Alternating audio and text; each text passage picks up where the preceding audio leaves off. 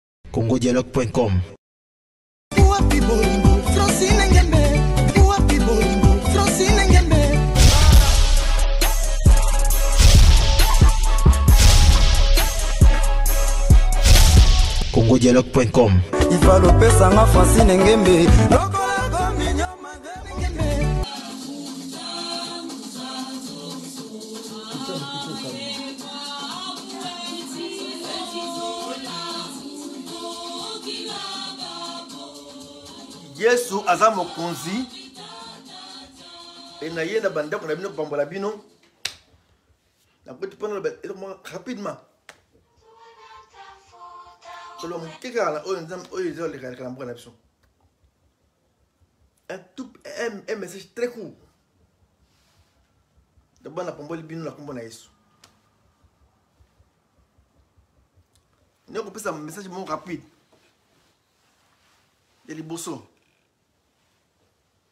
naye personnellement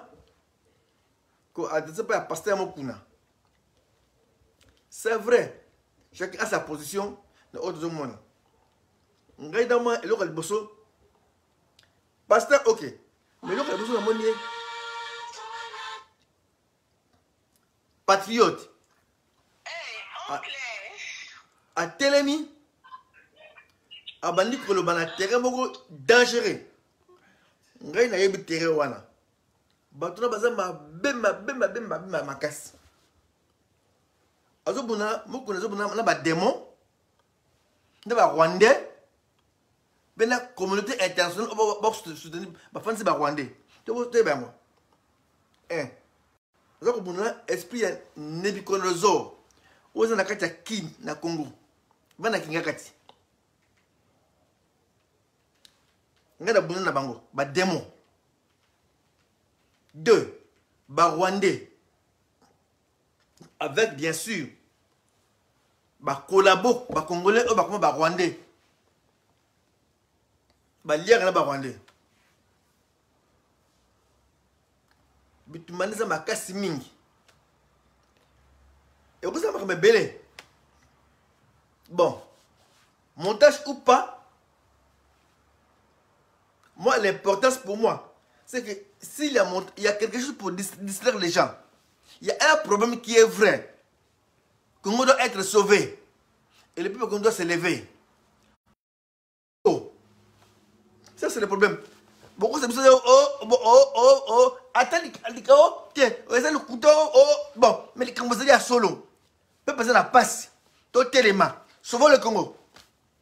Bo distraction te oh, oh mutakala non, on s'en fout. Olingo nous on s'en fout. Mutakala pour mutakala. Bima na mboka na biso. Va-t'en, dégage. Voilà le problème c'est ça. Dégage. Oyaka na makolo pa na biso. boti ya ba jardinier okoma na père basi oza yango wapi ngai namonaka yo komanda ipo ya, ya, ya martyr c'est le, le problème 80 compagnie 80, 80 compagnie moto ayaka na, na, na baboti okomisi bakita bakita mikolo mikolo bapapa na biso mikolo bakomaka bana mike na kati ya ngakati kobaki bambata c'est là où se trouve le problème naye kona pasteur mokuna nous peuple congolais souvent le congo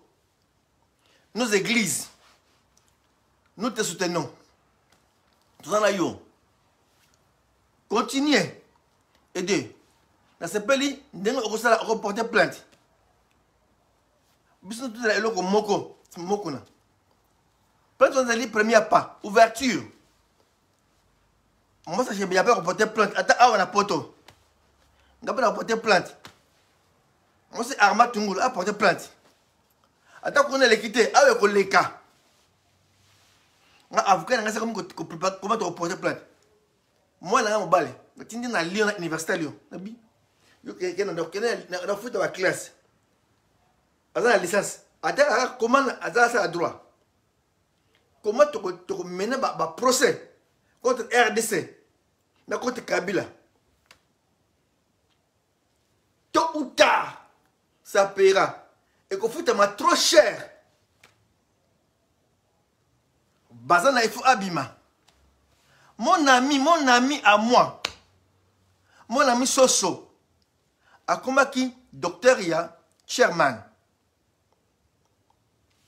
voici na ngai ya classe soso ntango tosusi baklasse tobandi kopanzana biso topanzani bitu ye abandi osala médecine ngai na poto asalaki médecine na alvanium susu nokaka susu akoma akoma akoma médecin sherman baleba soso abunga baza na abunga baluka ye te bana koloko bisi mutakala po toza distrait waya tomesana botya bafoto ndenge bolingi eza habitude vous payerez trop cher le problème est, est, est là c'est que il y a des morts il y a des pillages il y a des enrichissements illicites makambo mabe eleki mingi tala nga nde nakoma bomoni naza boye ma oyo nga zala na oyo yango kotama na kana banane maître docteur longo le grand cardiologue ya congo akende apuse na ngai akoloba mon, mon, mon patient kutino fernando pasteur ngai na docteur na ye bokeba parce que aza cardiopate akokaba afamama mingi te bamenace docteur bamenace docteur na auditorat militaire ce que je dis est vrai il y a même un jugement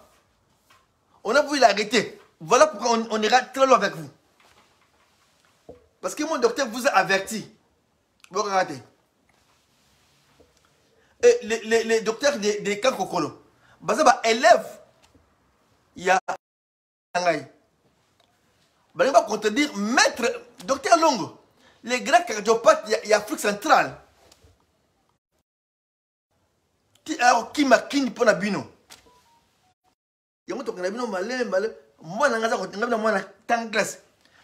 zala kotina ba professeur na ba élève tese na yo comment amener congo a tribunal na kanambe là où sera et sa famille tribunal tribunal tribunal ya nzambe ezali ofinga ngai bosala mio ata bosambusi ye le pasteur évêque mokuna reste congolais muluba congolais mwana mboka tolingi ye tout homme a des erreurs c'est des erreurs on va arranger en famille mais côté côté éveil patriotique ezali omata okita tokobeta mpe soki bosololi bien te ngai deja bato ya denar basala momo na bukavu bato na bazalatotekaka na bango awa bato ya denar bazali toyebi bazali bosala misala ya propre bana wana bazali bava na afrique kaka bakota kongo nepe bazali na table wa te babi baba pasteur songo après bapeti bakei tokosala mosala kitoko ntango ezala go toke makonaki te nakingaka te to bamilitaire policier kobima te soki obimi matali yo baza na peuple pasteur mokuna na n'abandonne pas oya komona pasteur mokuna aloba nde atika te tozali na nsima na ye diaspora comme ngai na bana na ngai na famille na ngai baeglize oyo bandimi yesu mpe oyo balingi mboka etambola peuple congolais elingi droit na congo etelema bien to to vivre na ba, ba bien na biso tochar te to soutenir pasteur évêque mokuna kolemba te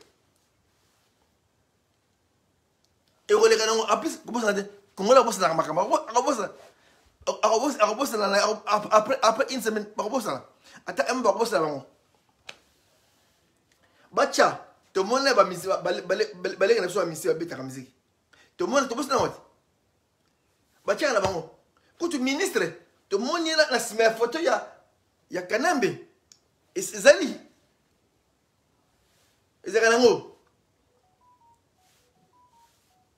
soki likambo ezali tobongisa atake famille soki erreur ezali tokobongisa biso tobonga mais tokolinga te ke tobebisa objectif ezali akende c'est ça l'objectif kende Évêque Mukuna, kotika te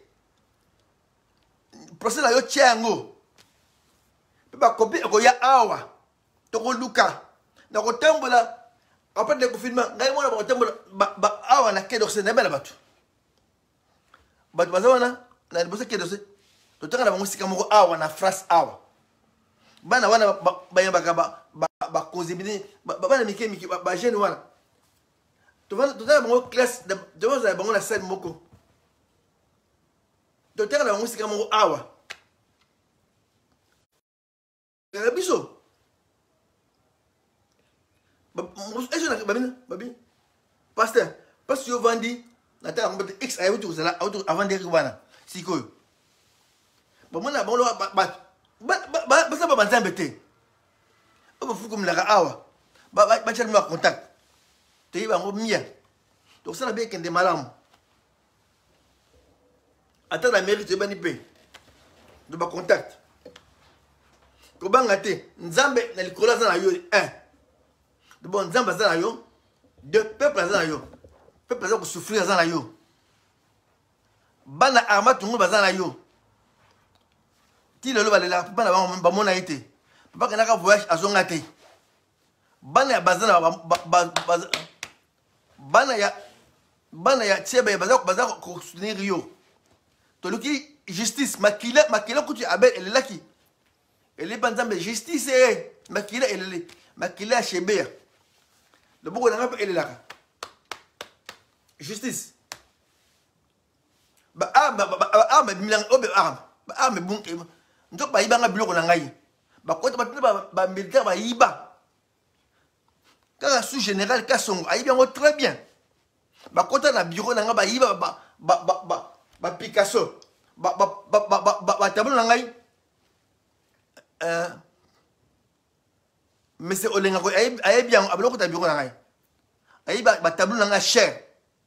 bayiba bayiba nyonso kutu lelo oyo antene na ngai ya pilone ya, ya televizio baarrange na paster mo bayiba yango antene ezali wana eza ya ngai to bomoni antene eza na enseignement na eglise wana ezali ya ngai ya mbongo na ngai omoni bakamera baza ebele bakamera mozala libanda baoza bino ata justice ya mokili ezwi bino te justice nzambe akozwa bino oza mpe ndako akourage état de droit si réellement eketi na suka moko moko moko kozwaka moko moko j'étais étonné loki motu moko ya fzabi o oh, abengi évêque moko na farceur quel farceur il dit la vérité mpo na mboka avec tous les pillages farceur nzala boza na nzala yango boyibi mbongo na ngai ya traitement oyo vana na poto boyibi yango fana bosia nga papa papa ba archi biso bana ya ndako nzala papa olie okende na poto na mbongo tika biso ata mbongo eko tosumola bana miliki tokotikela bino bosenga basengaka basengaka tokomi clochardise mpo nini popesa paster mokuna évêque je te soutiens à 1000 pourcent ata likambo ezalaki tokosolola entre biso likambo ya nini boye boye tobongisi biso moko tobongisi tobondeli nzambe aza miséricordie nzambe oyo atelemisaki david akotalimisa yo david abomi mutu azwi mwasi ya mutu abomisi mutu nzambe atalimisi ye ebongo yo ye basali mabe na mokili pas pour encourager les mal pour dire que telema kolemba te nous peuple toza na yo sovo le congo eza na yo Continuer idéologie. Indusa. On dit Indusa. Indusa. Indusa. Continuer Indusa. Indusa yango wana. Indusa continuer. Sauvons le Congo. Éveil patriotique. totelema mboka mboka tokangola mboka mandeko ka diaspora o oh, oh, aliaki na ye sikoyo c'est pas grave bon aliaki na ye aliaki na ye ezalaka ndenge wana banda kolia na ye après après ozwi conscience soki mokuna évêque aliaka na, na kabila à l'époque mais aujourd'hui ce n'est pas l'histoire ya kolia na kabila aujourd'hui ezali histoire ya mboka ekangolama mais si on va aller tout droit là alors na la même idée toke na même idée wana papa chichi aliaka na mobutu te manifeste na nsana asalaka papa chichi papa chichi azalaki bras droit ya mobutu bato basimaka mobutu bango wana papa chichi le président etienne tisekedi était parmi les bras droits le cerveau intelligent c'est mobutu oyo bavandisi mobutu avanda kpa mpe avandisi mobutu na, na, na dictature papa chichi totanga ba histoire bato bango koli obitaka wapi totindi koli sosoka yango ezali papa chicha abenda nini abite wenge oza bien te wenge oyo fe kufa abenda nini abandi vrai wenge wenge ya solo lelo oyo mwana ye akomi président hmm? tozala normal soki azalaki azwi conscience paul criminel koboma bachrétien sukasuka aza azongi na nzela moto nyonso apengwaka après azongi na nzela c'est pas que parce que nga nazaka païen naye pa nzambe donc azaka moto masumu te soki na bongwani nadiaka na ye na ntango wana mais soki nakobanda nayebaka te azaka moto mabe naye kokobanda ti nabendi bultu nzambe alakisi nga te keba moto ya dangereux oyo baza na ka kuna ya fcc bokeba bakolia bino bato ebele bakei ebele nga na ye bakei na fcc ebele bakei mingi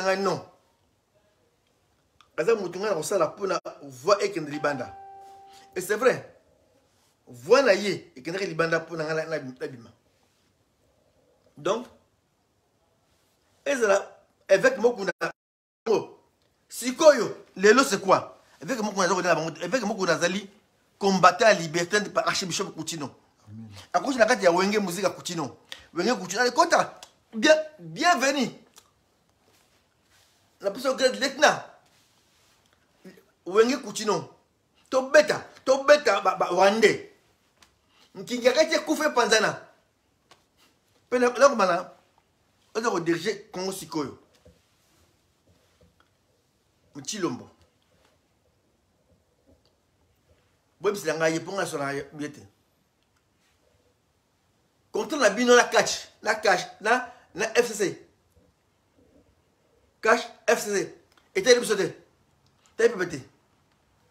wana ezali cop personnel entre yo na bakabila ojon fcc na cash ça c'est vous ça n'a rien à voir avec le peuple le, le peuple veut un changement pur vrai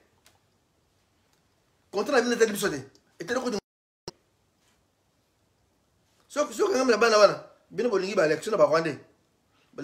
soki 2023 soki ngai na bango bakamaki 2000 pour 2023 tous préparé cinéma nakosala suka na cinéma suka suka na cinéma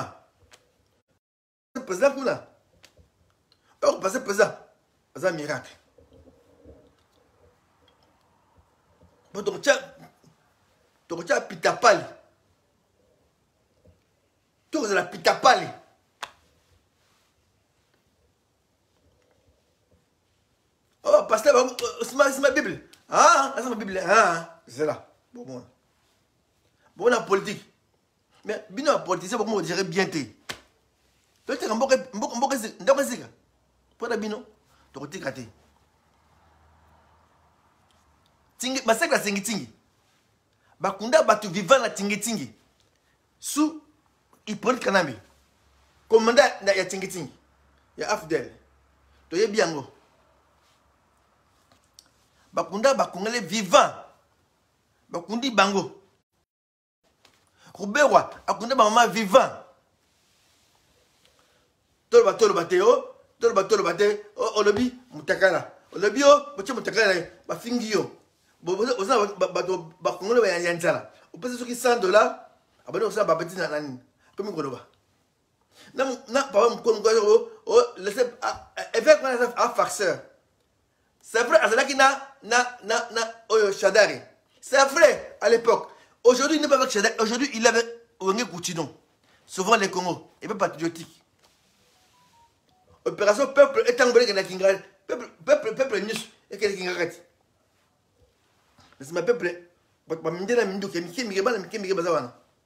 bakobeta bana bakobeta bakobeta bakomi peuple bongo yo bimi ngai policier misa motu na yo policier okolongola teni na yo na mundu okobwaka yango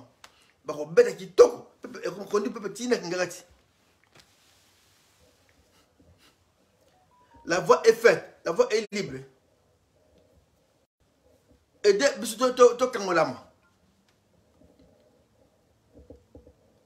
mesi oyo azali wana président félix chilombo aide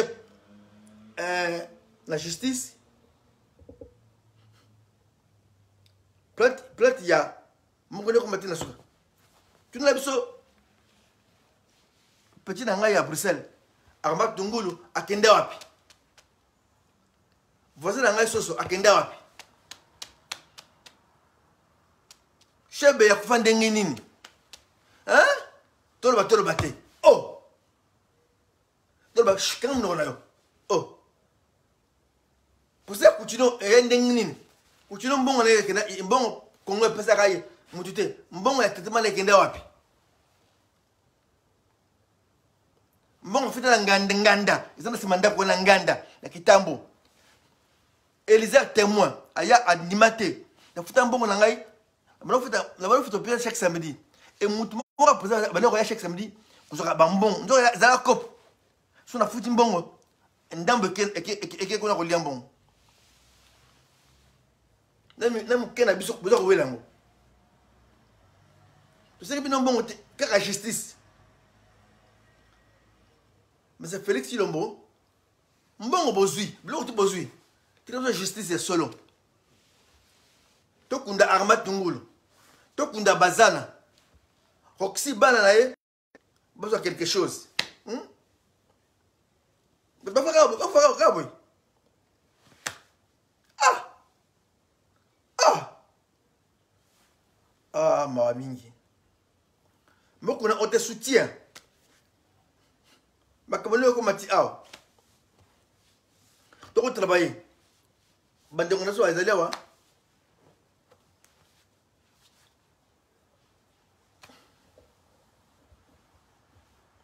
tokotambola kotambola partout mpe ekoya mosika ezali premier pas ata ata aleki te babi bakotika convocation te tolasa biso preuve tie na bar tondima état de droit tie na bar tokondima yo soki tie na bar ngai nazwi avion na ngai na ye na kini na ye na kini na kotata mwana baza kin insécurité oyo ete waneni bato baza kuna bato kaka ya kingakati cai na bar biso ato kobeta match na amérique na france baya kozwa ye ake na cpi to kobeta nga ata na kai na ngai alake na hollande na kai na otama na makoti na kai na ngai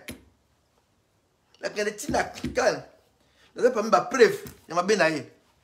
akomisanga invalide kani yango oyo bapreuve bapreuve ezali bafaux prophète bafaux procès ya lokuta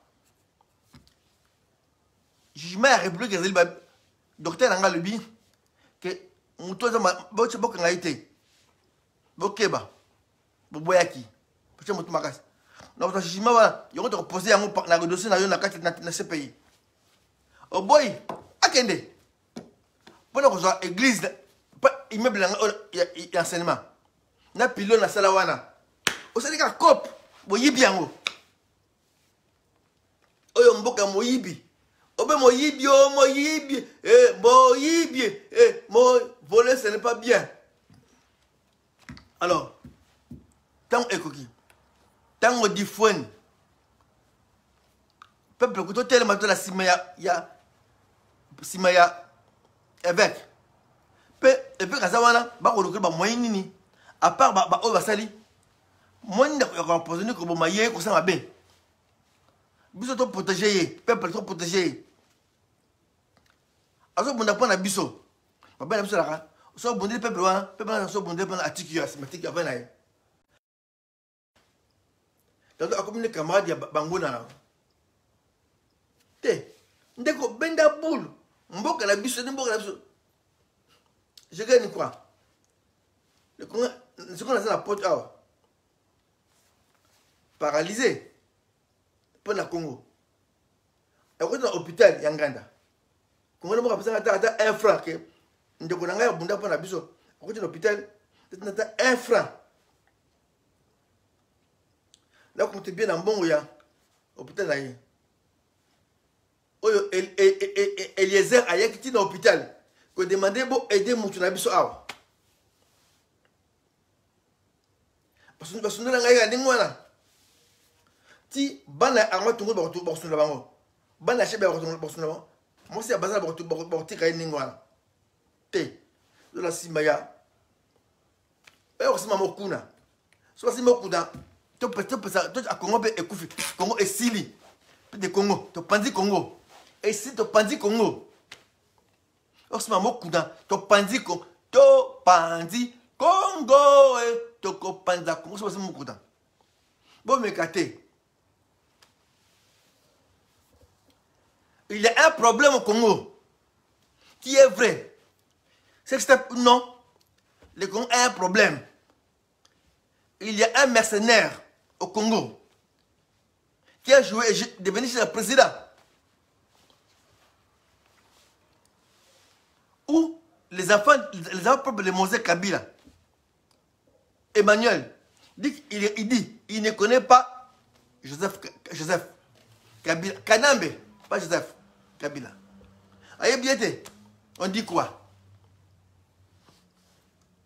trois personnes ba déjà congo trois personnes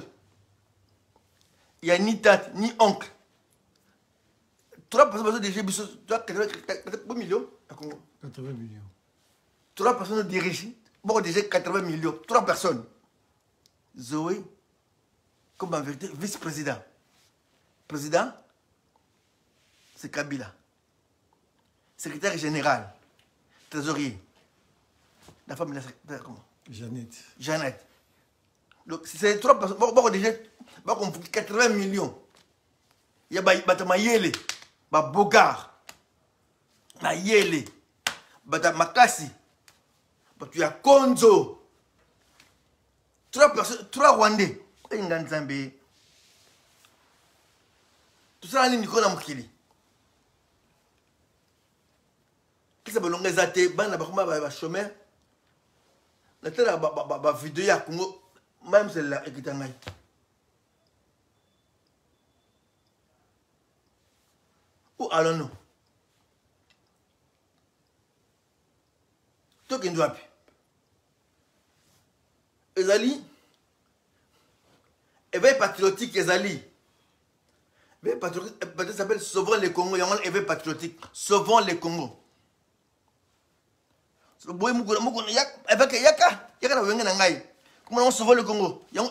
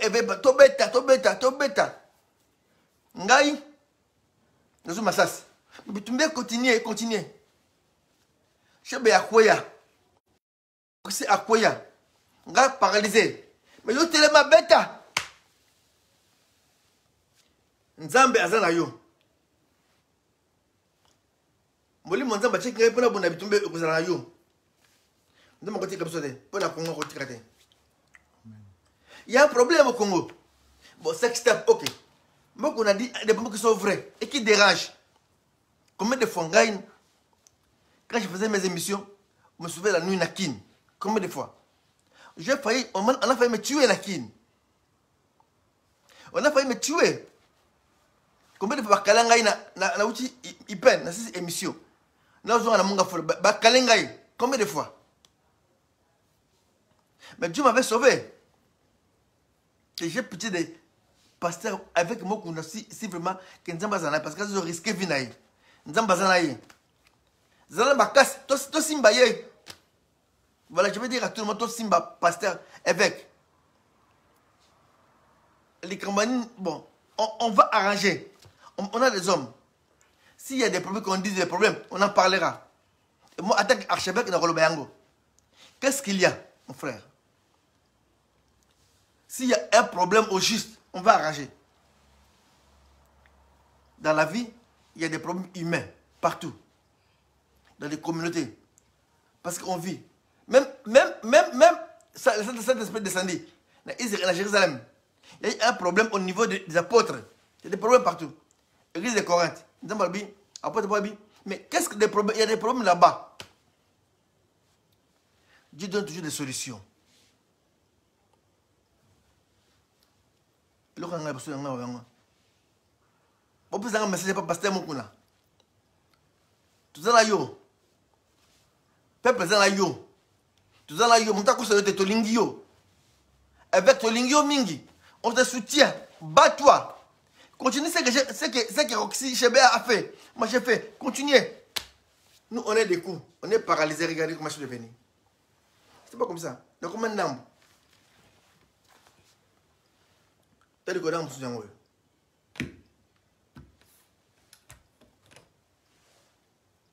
ngai sengaka eloko moko nzambe azongisa loboko na ngai nazonga sala entraînement botie ngai na stade botie ngai ring ngai na bango tobetana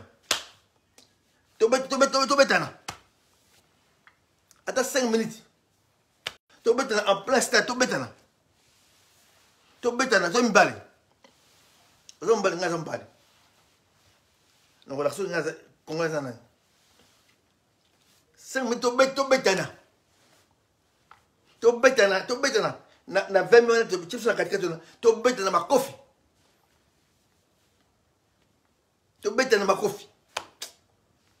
makambo mpeza ngai kanda pour l'amour du congo tokanga monoko te bosala bacomplot bobisa bavideo ya mutaka mutaka comme habitude bofinga na bino mokolo tokotika yo te mpo babisi fonga mpo te non tokotika yo tokolinga yo mingi tokotika yo te nzambe akotika yo te mpo na biso foto na mutaka tokotika te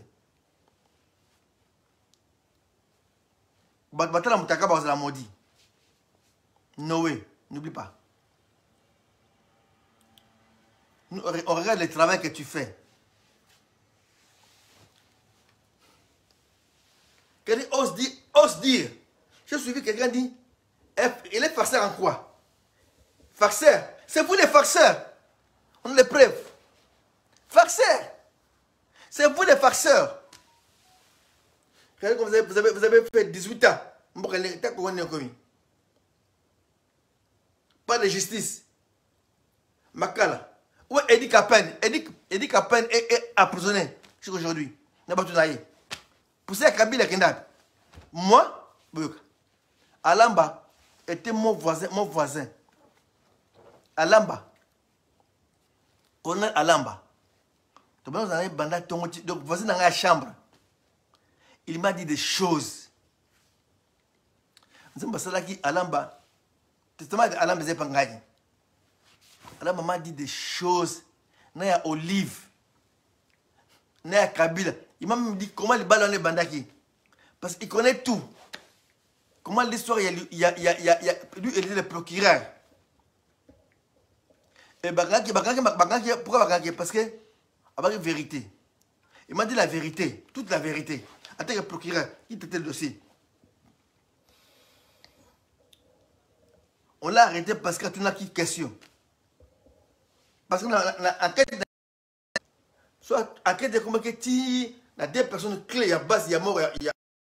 ya, ya mose emadi abi na kati na ngai na beti ya keti ti ekomi ngai na deux personnes ta akota bana mpe personne abi en tout cas naomona mpona mpona makambo ya ya ya ya ya mose ha donc ngai na ngai na ngai na papa na ngai yango voilà place place kabila kanambe nani aza problème yango wana balokoli makambo ya steve aza innocent mpo na steve il faut dossier wana ya alamba ezonga akenda appel bavandela dossier ya appel ya alamba na cour suprême bavandela yango tu ifa ebimba nasengi na bajuge ya cour suprême dossier ya alamba eza api ebima ebima ebima alamba aza innocent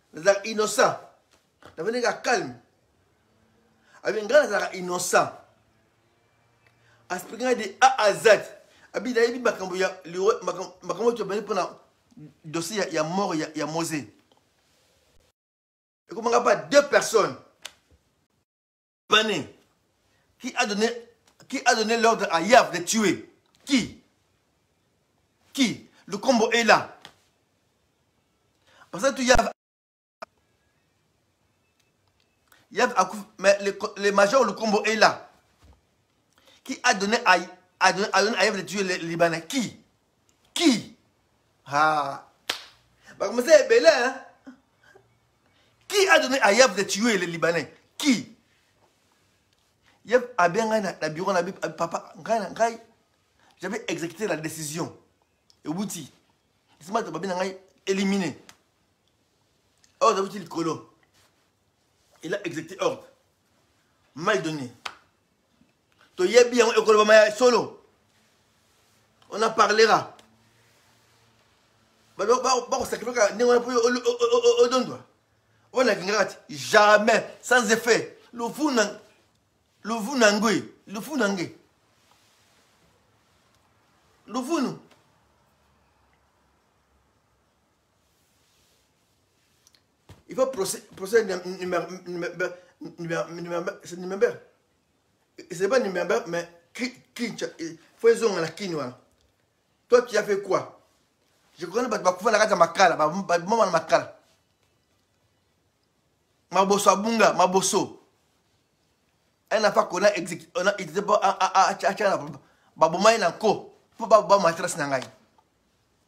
na boso non mbongo bozwi kota bozwi badiama bozwi miba bopanzi yango jekamai epanzana bon toza mpoza justice mais c'est peut-être on a besoin de justice on a besoin d'un état de droit idps c'est bâti pour l'état de droit moi j'ai connu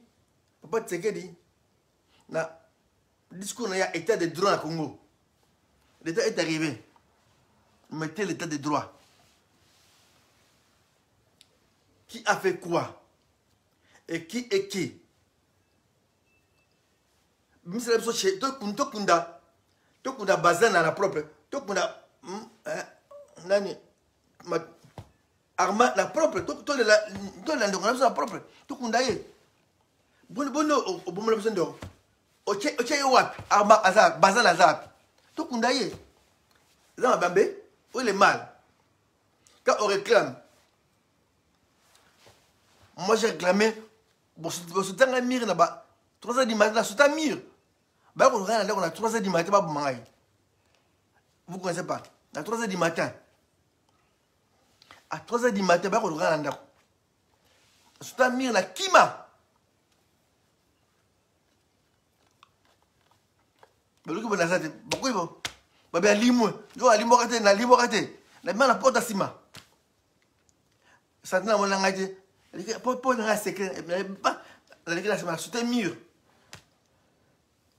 nzambe apesaka il faut ozala basportif mpoza biloko ya ndenge wana na mata na gripa na mire lokola makako ti nabimi kuna na tourne bango nakiti na se judo nakiti nabimi na kei baye boye moto aya te alimo nalimwaka te makambo makambo makambo ebele bainstela kolimwa te ezaka bacourage na ntango wana o survivre nsima ya pasteur évêque mukuna pepe toza nsima na ye deux c'est vrai c'est vrai na d'accord na ye te nde mbuta mwana semi baproblème mosusu ya division nazalaka kote mosusu na kote ya religion c'est vrai kote mosusu nazali d'accord te mais côté ya ya patriotisme wana ngai na d'accord te congolais ah, par, par patriotisme e ndenge ndenge traitement basibir ye na mwasi na ye eza malamu te je vois déjà dit oh, moi je suis la voix de sans voix la voix de sans voix je parle pour les femmes regardez la femme qui est là moi c'est mon intime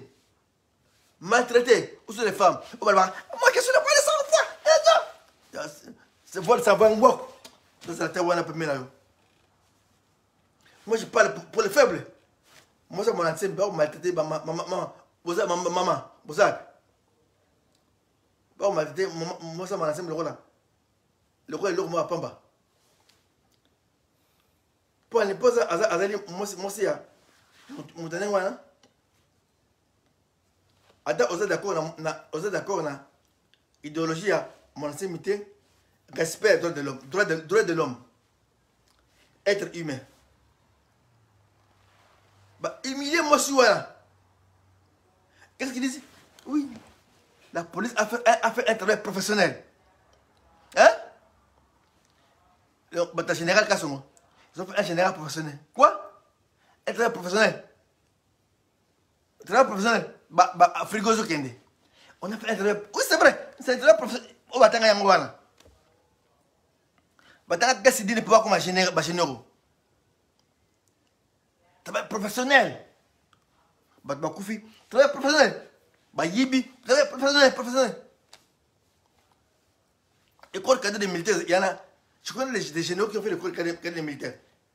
le général est laissé mettons, mettons la tête utiliser chaussée d'avre totika yango mpo na mire totika yango mpo na mire tonga mboka te il y a des, des grands généraux intelligents na gendarmerie na police bayepa na ngai bapanzi ils ont violenté les femmes na église naloba yango na kati na, na, na, na, na, na tribunal juge abon abatama mpo na soni on veut mettre feu à ça on a besoin de vivre chez nous poto me dit rien nava na poto naza awa mpo na traitement na ngai nalingi nalia mbika nalingi nalia nguba nalingi nazwa moi nalingi tolingi awa te tolingi tolingi toya dongodongo tolia fumbwa ça nous manque le fumbwa le pondu bitoto tokoki tolia bito awa oza tolingi tomona tokasola on a grandi avec sol odeur ya gambela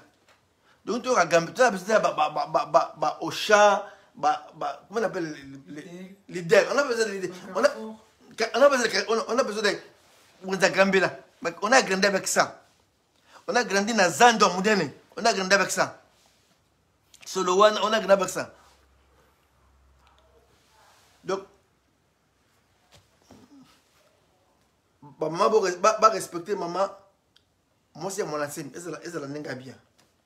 nakalaba mingi te nasuka wana donc napesi encouragement na ngai epai ya pasteur évêque mokuna mpe to respecte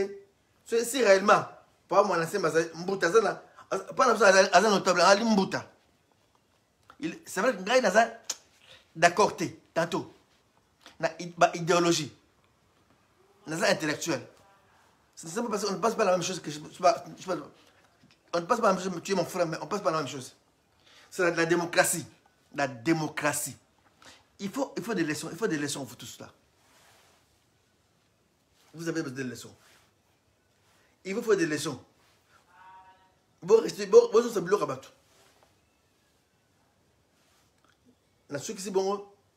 nzambe apambola bato nyonso mpe on dirait mpe coronavirus oyo eza na congo eza différent na coronavirus ezalaki na chine na france eza différent namoni na koba baotambola bango coronavirus a biso tomona masque bino boza bien confinement na bino eza kitoko wala confinement te wana nga bakofina nga banda 10 ans na prison ya makala na bata kasongo batina babeta ngai bayeba ngai bato général kasongo ayebi ngai très bien bakuti na, na prison na ngai bayibi ngai biloko na ngai batelefone na ngai ordinateur ngai ti lelo ordinateur na ngai eza page hotel général aza na ordinateur na ngai na batelefone na ngai auditeur général ngai archibishop kutino boyaka na pavillon kati na chambre na ngai koza biloko oya biloko na ngai na mbongo soki 10 000 dollars mbongo ordinateur batelefone babangi na ngai na sinema ngai na ekepala epa auditeur général odeur général ake bongo ya biloko na ngai wapi papa nono oza mbongo na ye jour wana kende api ezalaka te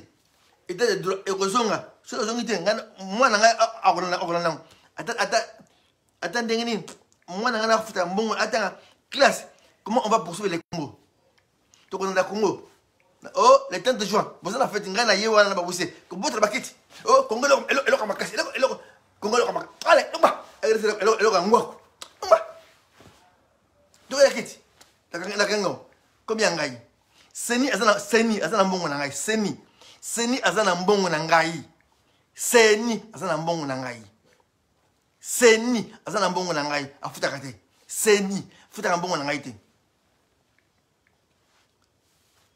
ebende eza na, na église, église ya pasteur agré enseignement ebende wana pino eza ya ngai bayiba komona moyibi bakamera baza ebele bokenda prison bokenda prison bana na kanambe prison kabila okota prison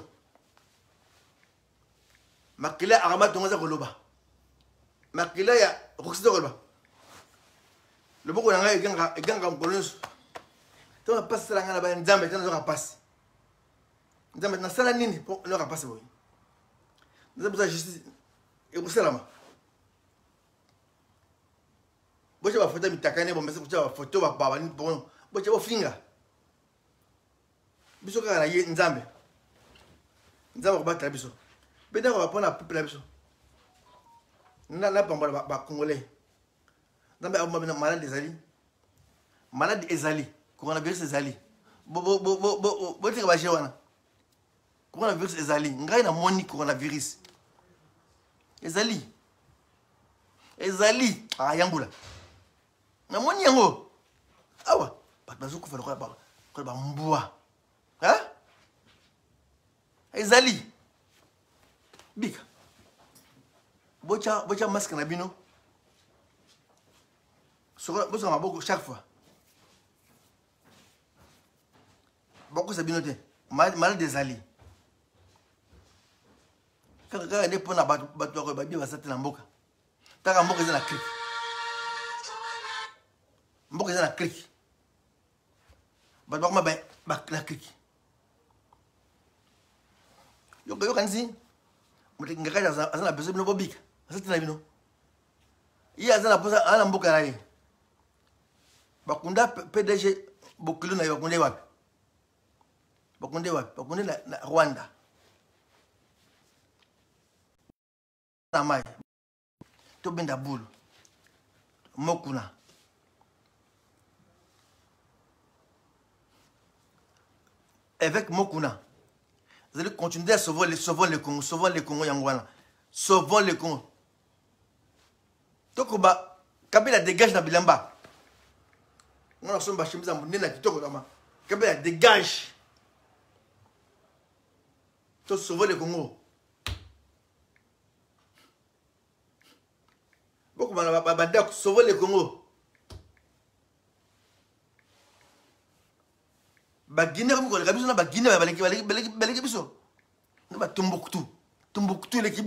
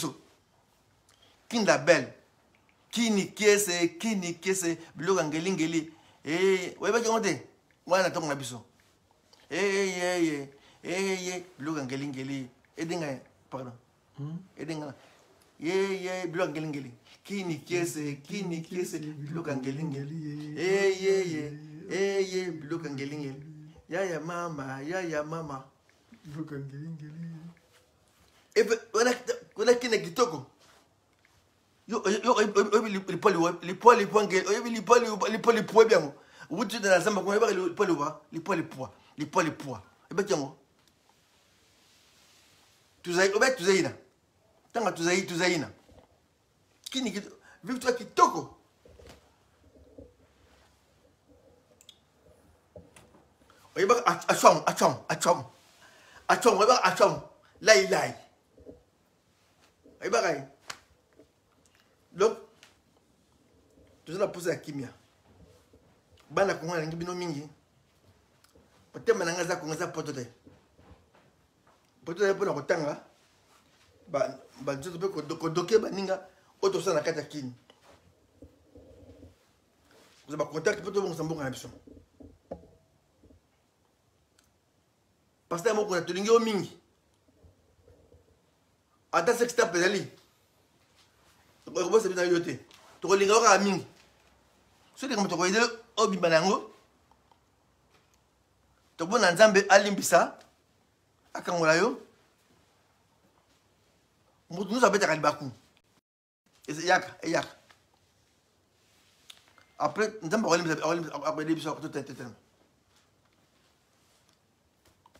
ngai alingi évêque tosimba évêque moko azali kosala bituma na terrain tosimba ye bolobelaki ngai na kosoutenir ye mokonzi na ngai na pamboli yo mpo na évêque moko tata batela ye epai azali telemisa bandimi bakwea te eglize etelema makasi makasi na biso kobondela nzambe pesa biso maboko makasi ya kobondela mpo na bitumba oyo satan aza kokotela mboka kobebisa koboma aza kodetruire nzambe pesa tobona makasi na bitumba oyo ennemi akosala baje ebele nzambe pesa biso makasi totelema tozala ngwi na bonde mpo na basta ya mokuna batela ye nzambe mpe kimia ezala soki mpe mpo na mwana mwasi wana likambo ezalaki nzambe sala ke solution ezwama azala na kimia tia kimia na mitema bandimi bato balingi baskandale bandimi nzambe tia kimia satan azali wana mokonzi ne nous soumet pas à la tentation olakisa biso yango to kotika biso tokoya te nzambe simba biso tozali bato nzoto ezali toa faible toza ba faible nzoto na biso eli faible mais nzambe aide biso nzambe aide évêque mokuna atelema aza liboso ti tokolonga bitumba oyo nzambe soki yo te tokenda wapi tokosuka wapi nzambe telema nzambe telema nzambe telema nzambe telema tokufi mingi tokufi loko bambwa nzambe tofingami tomo otambola mokili mobimba tokomi partout na mokili mobimba tomokola bato bazanga mboka bana israel à l'époque bazanga mboka tokomi ndenge wana nzambe tika tosali so boye tosala nini na mokili toboma nani mpo tokoma tosufe ndenge oyo nzambe ede biso longola maladi maladi oyo longola na mboka na biso toza na mbongo te mpo na baso ya maladi oyo espoir na biso ezali mpa na yo yo obikisa biso soki ekoti na bamboka bato bakufa ebele hôpital malonga eza te bato opesaki ozeki babongisa mboka balie mbongo balie mbongo nyonso tu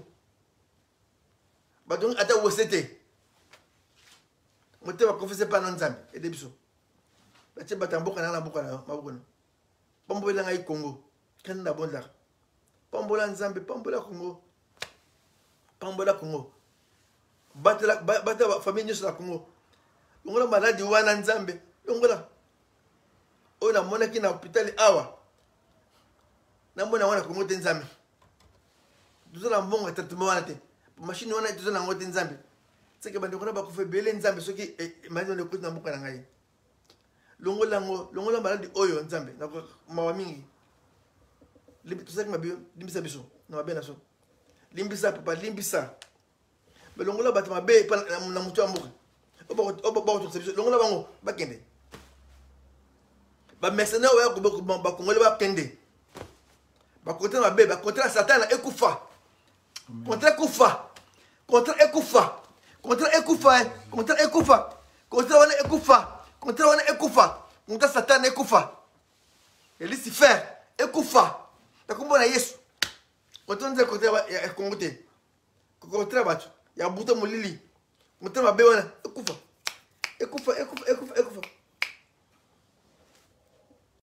nzambe napamboli yo mokonzi napamboli libota na ngai napamboli baeglize nyonso ya yesu kristu bapastere nyonso tu napamboli bango bakumba babrbi ya nzambe nzambe pambola bapastere na londres pambola bango bapastere ya londres pambolama na belgique pambolama bapastere pambolama bapastere bopambolama bapasteur na kini bapambolama na meri bapambolama bapasteur bapambolame pambola bapasteur papa mosala na yo tesimami awa nzambe pouvoir na besoin na biso bafete basale tofete basale na mama oyo nzambe aide biso bapasteur napamboli bandimi na kombo na yesu pambola na kombo na yesu bikisama na kombo na yesu napomboli yo na nko obikisama na nko bika na nko amen tofa amen amen amen amen congodialogue.com